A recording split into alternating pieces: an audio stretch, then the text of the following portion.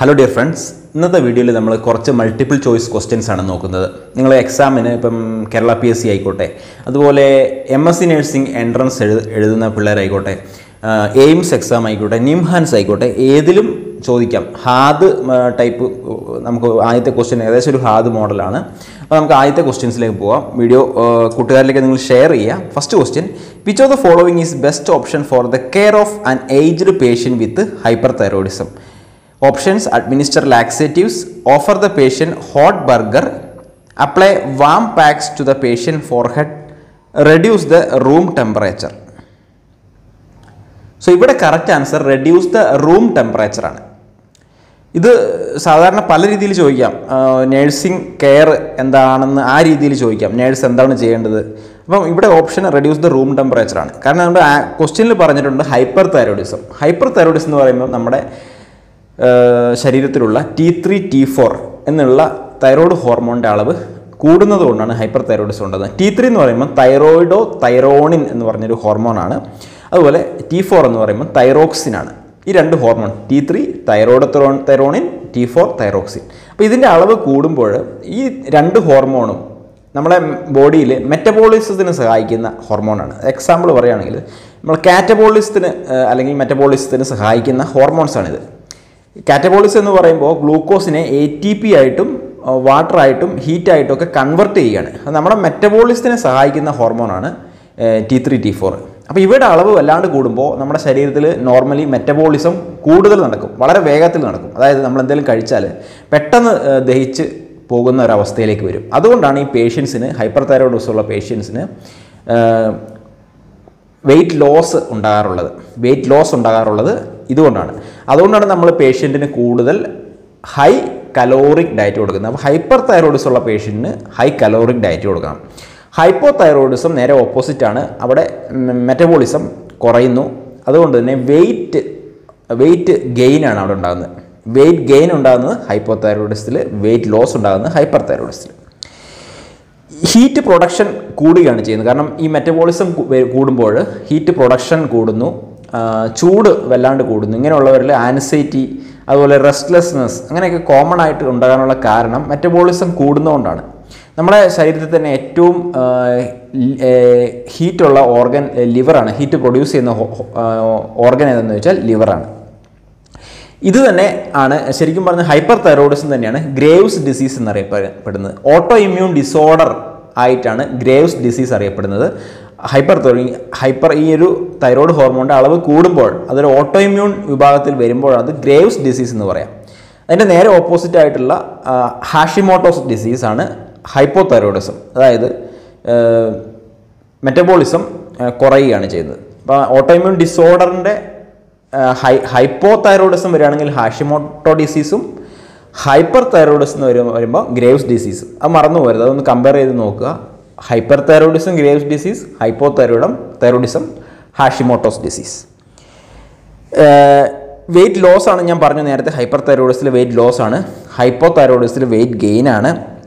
അതുപോലെ ഈ മെറ്റബോളിസം കൂടുന്നത് കൊണ്ട് നമ്മുടെ ഹാർട്ടിന് അത് ബേൺ ചെയ്യാൻ കൂടുതൽ ഓക്സിജൻ ഡിമാൻഡ് വേണം. അതുപോലെ ഹാർട്ടിന് കൂടുതൽ വർക്ക് ചെയ്യേണ്ടി വരും. കാരണം നമ്മൾ കഴിക്കുന്നതെല്ലാം പെട്ടെന്ന് ബേൺ ചെയ്ത് ചെയ്യുകയാണ്. അങ്ങനെ ആകുമ്പോൾ നമുക്ക് ഓക്സിജൻ ഡിമാൻഡ് കൂടുന്നു ഹാർട്ട് റേറ്റ് കൂടുന്നു. അതുകൊണ്ടാണ് ടക്കി കാർഡിയ ഉണ്ടാകുന്നത്. പേഷ്യൻസിന് ഹൈപ്പർ തൈറോയിഡ്സ് ഉള്ള പേഷ്യന്റിന് ടക്കി കാർഡിയ ഉണ്ടാകാനുള്ള കാരണമാണ് ഹാർട്ടിന്റെ വർക്ക് ലോഡ് കൂടുന്നതുകൊണ്ടാണ്.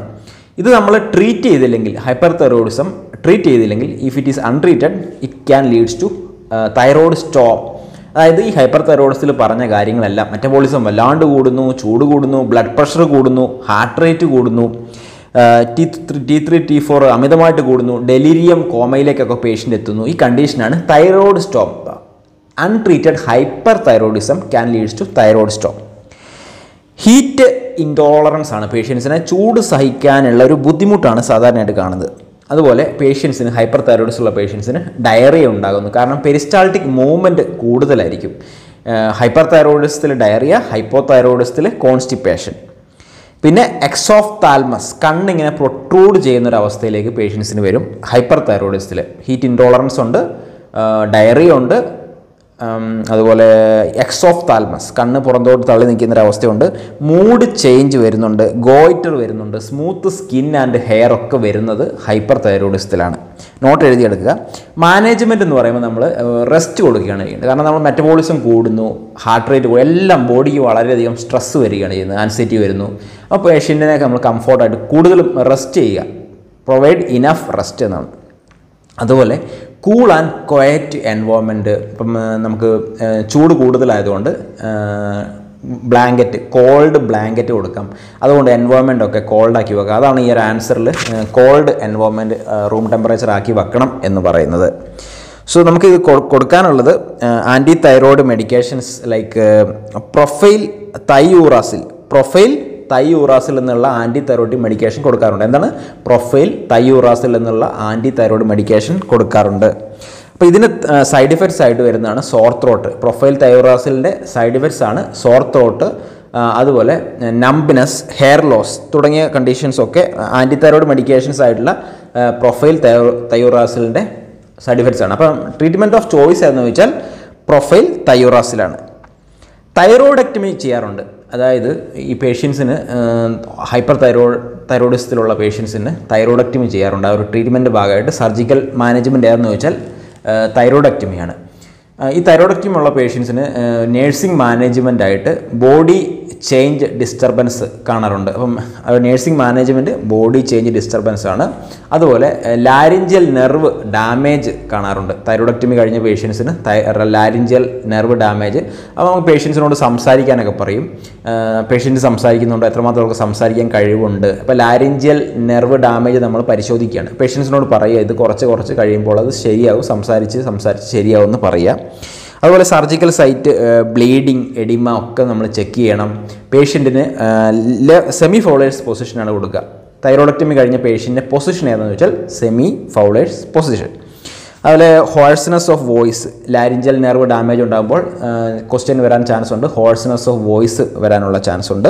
പേഷ്യന്റിന് ഹൈ കലോറിക് ഡയറ്റാണ് കൊടുക്കുക. അപ്പോൾ ഹൈപ്പോ തൈറോയിഡിസത്തിൽ ലോ കലോറിക്കും ഹൈപ്പർ തൈറോയിഡിസത്തിൽ ഹൈ കലോറിക് ഡയറ്റുമാണ് അതുപോലെ നമുക്ക് പേഷ്യന്റിന്റെ ബെഡ് സൈഡിൽ എപ്പോഴും ഒരു കാൽസ്യം ഗ്ലൂക്കണേറ്റ് വെക്കണം. കാരണം തൈറോയിഡക്ടമി കഴിഞ്ഞ പേഷ്യൻസിന് പേഷ്യന്റെ ബെഡ് സൈഡിൽ എന്തുകൊണ്ടാണ് കാൽസ്യം ഗ്ലൂക്കണേറ്റ് വെക്കാറുള്ളത് എന്ന് ചോദിച്ചാൽ പേഷ്യന്റിന് പാരാ തൈറോയ്ഡ് ഗ്ലാൻഡ് തൈറോയ്ഡ് ഗ്ലാൻഡിന്റെ പുറകിലായിട്ട് സ്ഥിതി ചെയ്യുന്നതാണ്. ഈ പാരാ തൈറോയ്ഡ് ഗ്ലാൻഡിന് ഡാമേജ് ഉണ്ടാകുമ്പോൾ ഹൈപ്പോ കാൽസ്യമിലേക്ക് പേഷ്യന്റ് പോകാനുള്ള ചാൻസ് ഉണ്ട്. അതുകൊണ്ടാണ് കാൽസ്യം ഗ്ലൂക്കണേറ്റ് ബെഡ് സൈഡിൽ തന്നെ വെക്കണമെന്ന് പറയുന്നത്. കാൽസ്യം കൂടാതെ ഫോസ്ഫേറ്റിന്റെ അളവും കുറയാനുള്ള സാധ്യത പേഷ്യൻസിനുണ്ട് അതുപോലെ ഐ വി കാൽസ്യം ഗ്ലൂക്കണേറ്റ് നമ്മൾ സ്ലോ ആയിട്ട് കൊടുക്കുക സ്ലോ അഡ്മിനിസ്ട്രേഷനാണ് അത് ബെഡ് സൈഡിൽ തന്നെ വെക്കണം. അപ്പോൾ ഇത്രയും കാര്യങ്ങളാണ് ഈ ഒരു ഹൈപ്പർ തൈറോയിഡിസത്തിനെ പറ്റി പറയാനുള്ളത് ഇനി അടുത്ത ക്വസ്റ്റ്യനിലേക്ക് പോവാം. അടുത്തൊരു റിസർച്ച് ഓറിയന്റഡ് ക്വസ്റ്റ്യൻ ആണ്. Following are the ethics we should maintain while conducting research except options changing or omitting data or results maintain objectivity maintain confidentiality take approval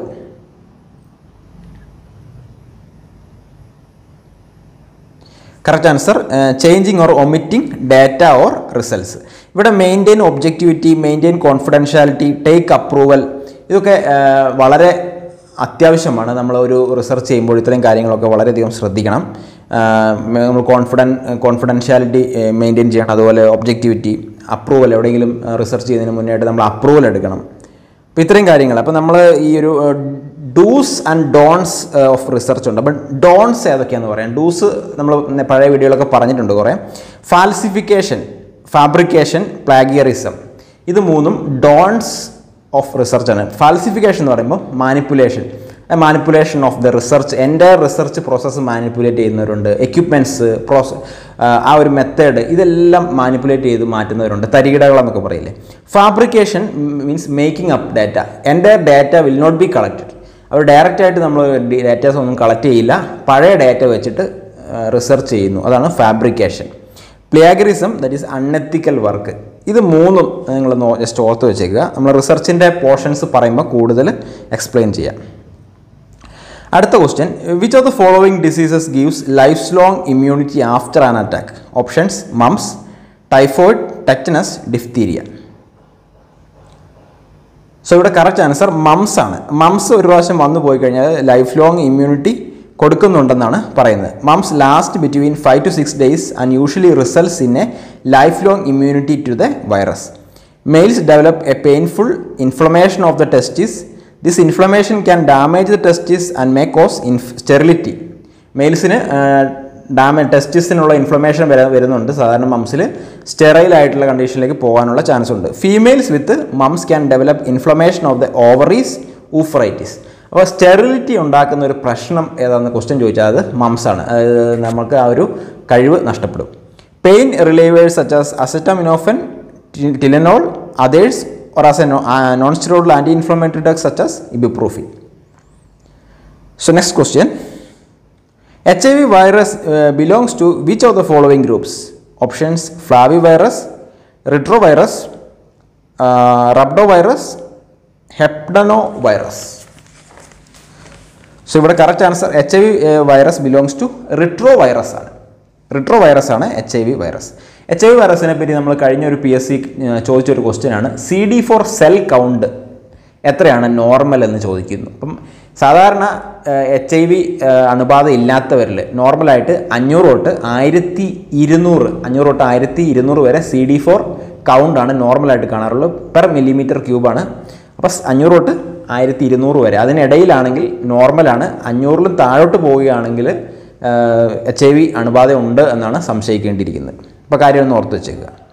അടുത്ത question a nurse is caring for a patient with swine flu and she has to give the drug of choice for swine flu and it is options acyclovir adefovir cidofovir oseltamivir അപ്പോൾ swine ഫ്ലൂവിന് കൊടുക്കുന്ന മെഡിസിനാണ് ഒസൽട്ടാമിവിർ ഒസൽട്ടാമിവിർ തമി flu എന്നും പറയാറുണ്ട്. നമ്മൾ നേരത്തെ കേട്ടിട്ടുള്ള പറഞ്ഞിട്ടുള്ള മെഡിസിനാണ് swine flu oseltamivir other name Tamiflu അപ്പോൾ അതിന്റെ കുറച്ച് ഡീറ്റെയിൽസ് നോക്കാം. Swine flu is a human respiratory infection caused by an influenza strain that started in pigs പന്നികളിൽ നിന്നാണ് ഈ ഒരു അസുഖം തുടർന്നത്. Symptoms include fever cough sore throat chills weakness and body aches typical treatment includes rest pain relievers such and fluids in some cases antiviral medications and I V fluids may be required so അടുത്ത question At primary health center level, vaccines are stored in options deep freezer, ice lined refrigerator, cold box, walk-in cold room. So primary health സെന്ററിൽ ice lined റെഫ്രിജറേറ്ററിലാണ് vaccines store ചെയ്യുന്നത്. Ice lined refrigerator next question which I I U C D needs to be replaced only after ten years copper T two hundred B പ്രൊജസ്റ്റ് Progestasert copper T three eighty A Nova T പത്ത് വർഷം replacement കഴിഞ്ഞ ഉള്ള value ഉള്ളതാണ് copper T three eighty A. അപ്പം ഈ ഒരു intrauterine device copper T to prevent unplanned pregnancy അത് പത്ത് വർഷം അതിന്റെ റീപ്ലേസ്മെന്റ് വാല്യൂ ഒരു ഇയർ ഉണ്ടെന്നാണ് പറയുന്നത്. Next question period of maximum infectivity in mumps in during options incubation period onset of swelling after swelling appears prodromal period so period of maximum infectivity in mumps during onset of swelling ആ swelling ഉള്ള സമയത്താണ് ഏറ്റവും കൂടുതൽ infection ഒരാളിൽ നിന്ന് മറ്റൊരാളിലേക്ക് പകരാനുള്ള chance അപ്പോൾ ഈ കഴുത്തിന്റെ ഈ ഭാഗത്തൊക്കെ ഒരു സ്വെല്ലിംഗ് സാധാരണ കാണാറുണ്ട് മംസ് ഉള്ള പേഷ്യൻസിൽ അപ്പോൾ ആ സ്വെല്ലിംഗ് ഉള്ള സമയത്താണ് പകരാനുള്ള ഏറ്റവും കൂടുതൽ ചാൻസ് ഉള്ളത്. സോ ഈ വീഡിയോ നമ്മുടെ കഴിഞ്ഞു. ഇത്രയുള്ളൊരു നാലഞ്ച് ക്വസ്റ്റ്യൻസ് ഇമ്പോർട്ടന്റ് മെയിനായിട്ട് ഹൈപ്പർ തൈറോയിഡിസത്തെ പറ്റിയാണ് പറഞ്ഞത്. All the best for your coming exam നമ്മുടെ സെക്കൻഡ് ചാനലിൽ മിക്കവാറും വീഡിയോസ് അപ്ലോഡ് ചെയ്യുന്നതായിരിക്കും. Especially J H I J P എച്ചിന്റെ exam അടുത്തു. അപ്പോൾ ഈ ചാനൽ കാണുന്നവരെല്ലാം നമ്മുടെ ആ ചാനലിലൂടെ വിസിറ്റ് ചെയ്യുക. Thank you for watching all the best